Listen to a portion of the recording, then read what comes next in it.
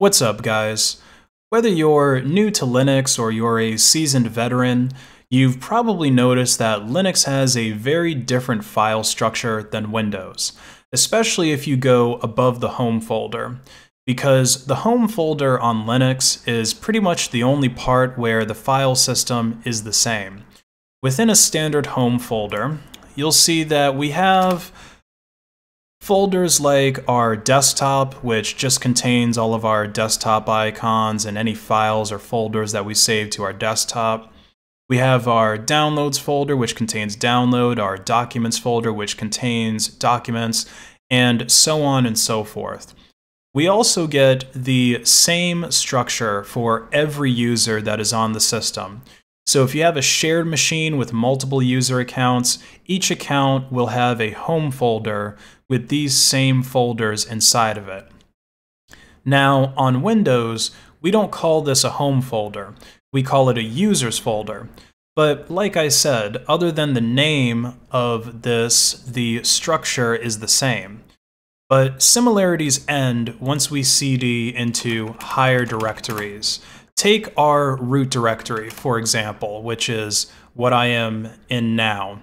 On Windows, we don't really have a root directory. The closest thing to the root directory would be the C drive.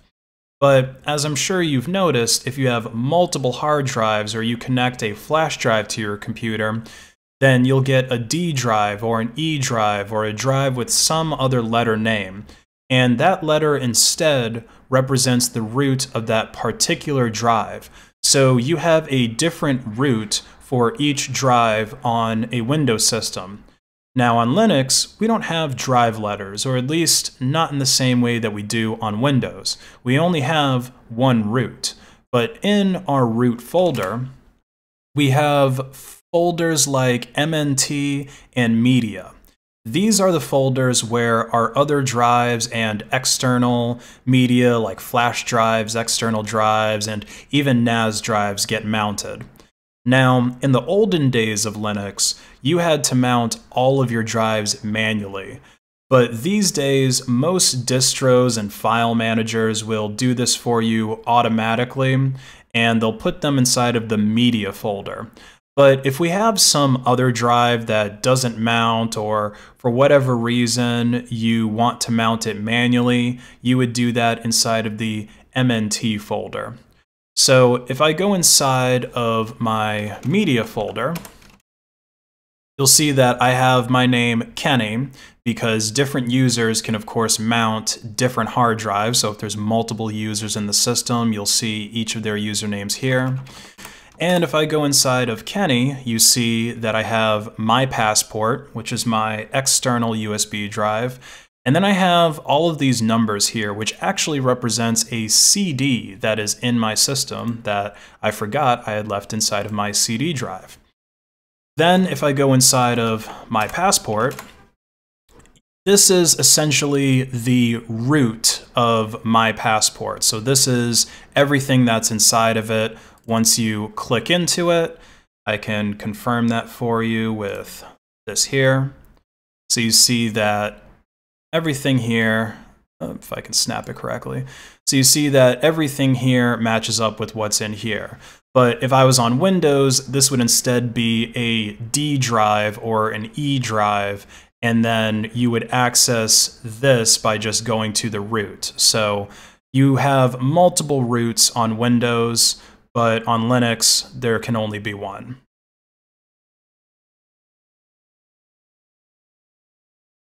Going back to our root folder, you'll notice that we don't have anything like program files or program files x86.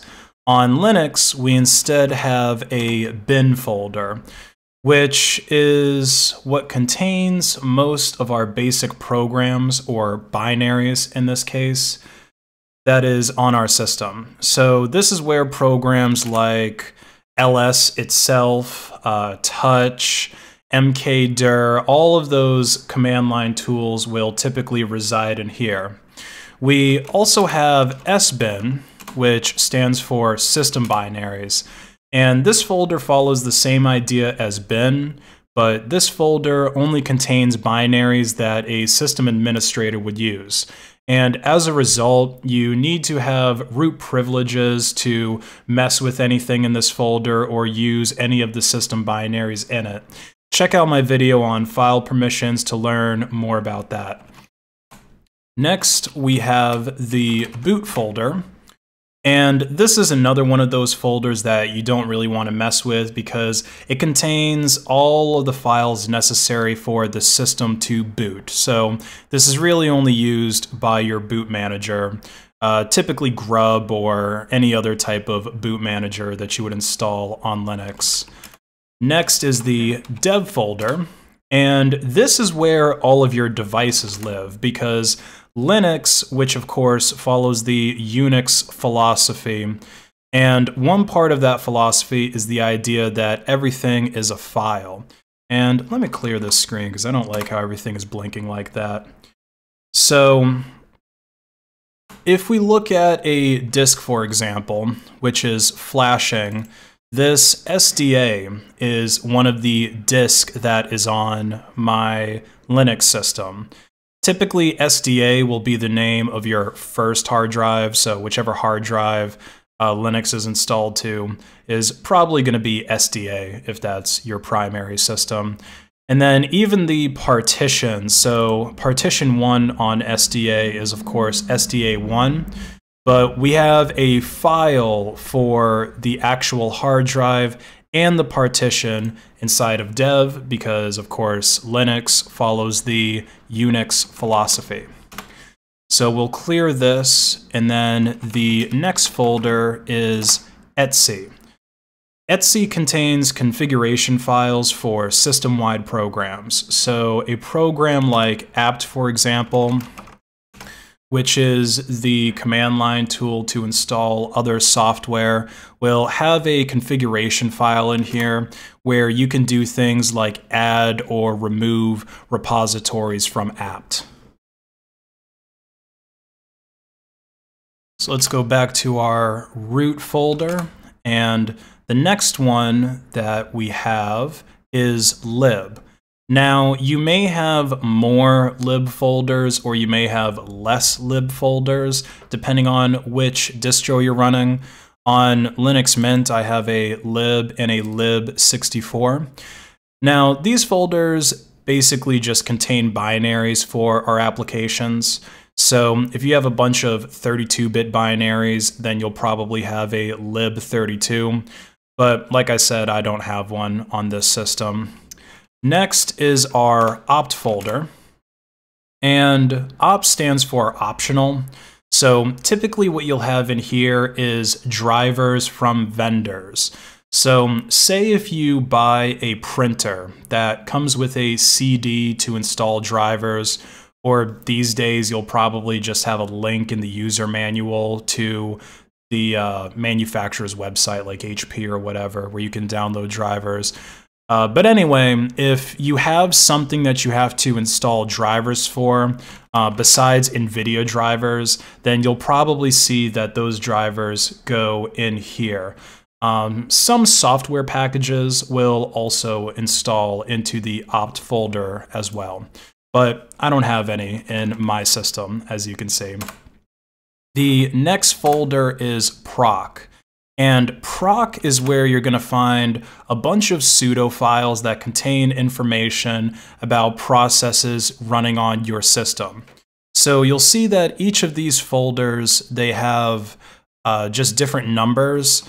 And what these numbers actually stand for is process IDs. So if you use a task manager like HTOP, then you'll see that the process ID, which is all the way over to the left on mine, uh, you'll see that this process ID number is the same as this folder name. So if we look for something like, um, see, I don't really want to mess with OBS. Let's try Firefox. So Firefox has the process ID 11258.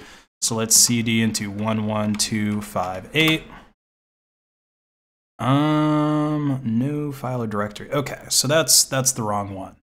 Uh, let's try let's try VirtualBox. I don't think VirtualBox is split up into multiple processes. So we'll cd 26138. And so inside of here is basically all of the information about the VirtualBox process that is running on my system. Now, if you're a regular user, again, I don't recommend messing with any of these folders that are in here.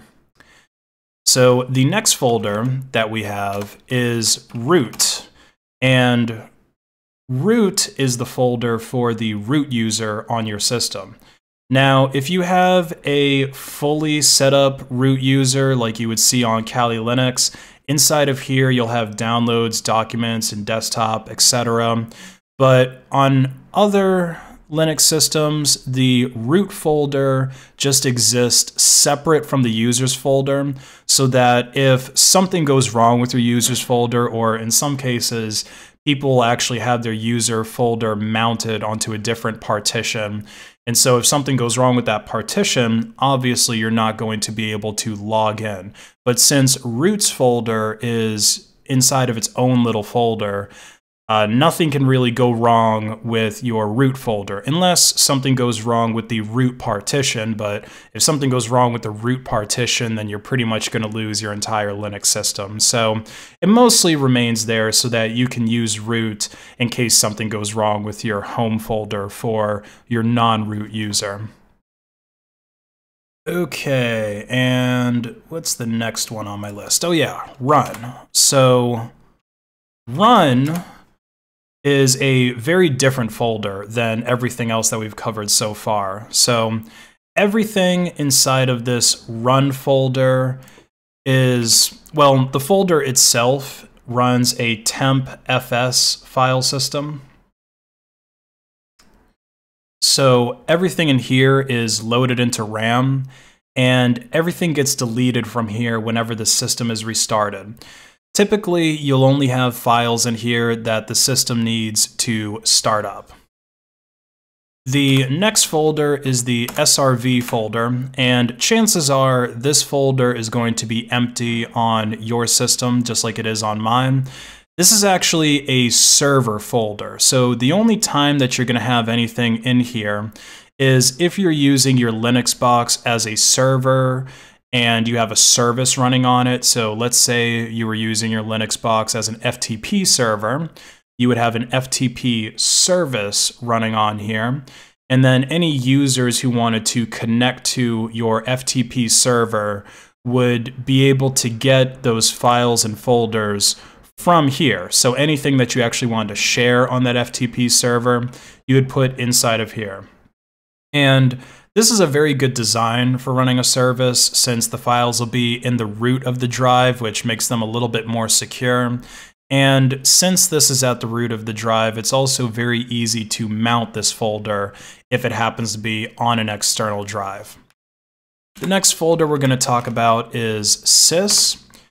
And this system folder gives us a way to interact with the kernel. Now, again, Messing with your kernel isn't something that a normal user would do.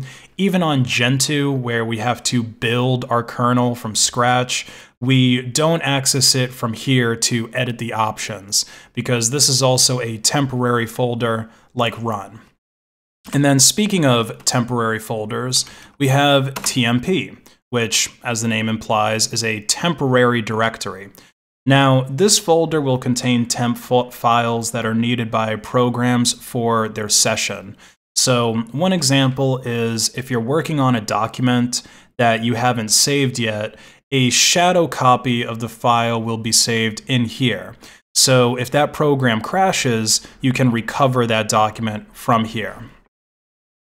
The next folder we're going to talk about is USR, which stands for user and user contains applications that are used by the user. Now, don't confuse this system, or don't confuse this folder rather, with bin or the sbin directories.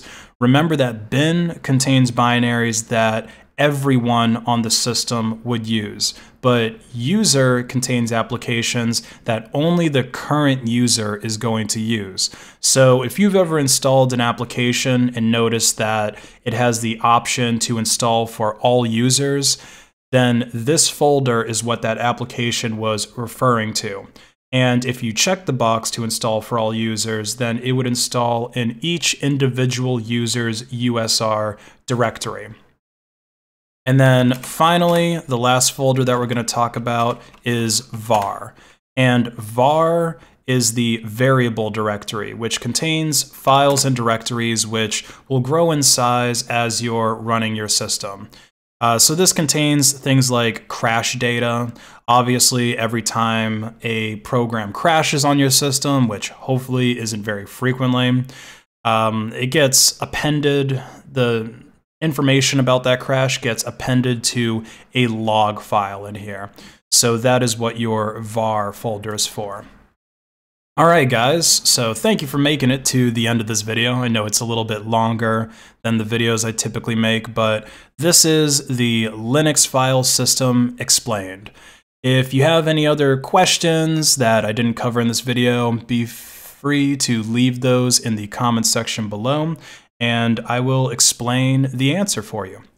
Hope you enjoyed this video, share it with a friend that'll find it useful. Peace out guys.